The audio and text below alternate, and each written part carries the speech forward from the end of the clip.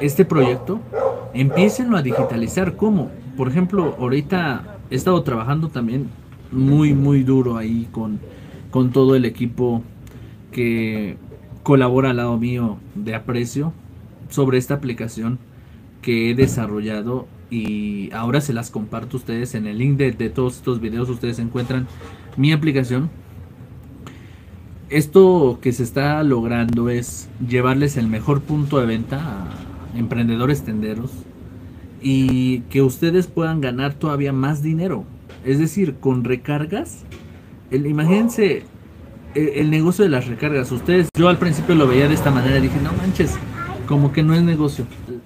El, el negocio de las recargas funciona en un cierto modo en volumen, gancho, o sea, tiene muchos factores el ver, el vender recargas, porque yo decía, pues es que mil pesos, y me piden dos recargas de 500, un ejemplo, y a cada recarga le gano dos pesos, porque yo les cobro aparte dos pesos por cada recarga. Y dices, bueno, de mil pesos gané solamente cuatro pesos, pero no, porque así no funciona. En realidad nosotros, los tenderos, y ahí va el tema de, de hoy, es que nosotros mmm, tenemos mayor margen de ganancia porque nuestros clientes son pequeños.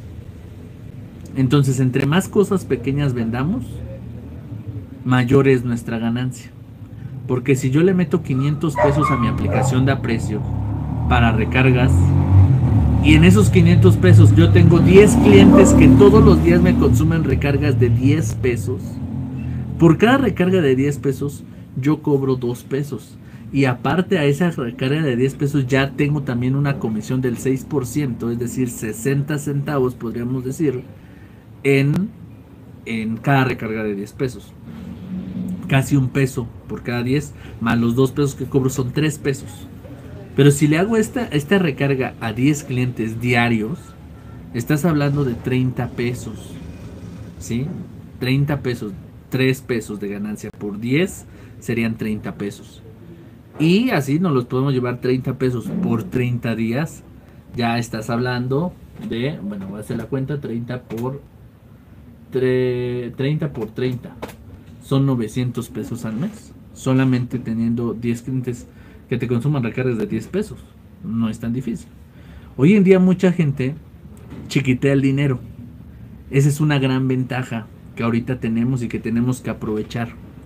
Si nosotros eh, empezamos a, enfocarnos en estos clientes pequeños que chiquitean el dinero, no sé si ustedes han visto, pero ahorita con el tema de la inflación, mucha gente chiquitea el dinero y dices, en lugar de comprarme un paquete, mejor me compro nada más uno.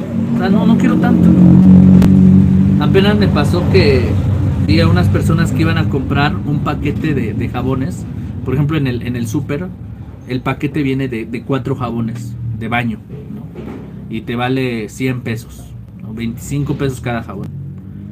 Y dices, oye, está bien. No, pero es que no me alcanza porque si llevo los cuatro jabones ya no va a alcanzar para la pasta, para el rollo, para las servilletas. ¿no? Entonces chiquiteas el dinero y en lugar de comprarte los cuatro jabones de barra que te convendrían a 25 pesos cada uno, la gente prefiere comprar un jabón en 36 pesos. Ese mismo jabón que vale 25 pesos en un paquete de cuatro, te lo venden suelto en 36 pesos. Estás pagando de 25 a 36.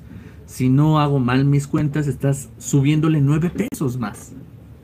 Esos 9 pesos, la gente está dispuesta a pagarlos porque dice, es que si no compro ahorita el jabón, o sea, si compro cuatro piezas, ya no va a alcanzar para las servilletas. O son servilletas o es jabón. Y al final la gente necesita llevarse jabón, servilletas, rollo. Lo mismo, lo mismo que nos sucede a nosotros como como dueños de negocio. Como por ejemplo que es el tema de, de que tú empiezas a invertir a la semana y quieres invertir en Pepsi, Red Cola, en Coca, en huevo, en abarrote. Quieres invertir en todo y tienes que chiquitear el dinero porque no te alcanza para todo. O sea, a veces quisieras tú meterle todo el dinero a la coca.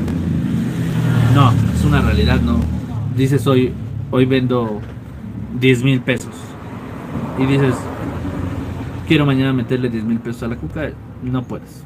O sea, porque metes pura coca, te vas a quedar sin, sin papel higiénico, sin verdura tal vez. sin sabritas o sin bimbo. Entonces tienes que aprender a, a, a buscar la forma de comprar de todo un poco. Y eso es lo que la gente está haciendo. La gente allá afuera está comprando de a poquito. Entonces, desde mi punto de vista, yo les puedo decir, las tiendas de abarrotes nunca van a desaparecer. Al menos desde mi punto de vista.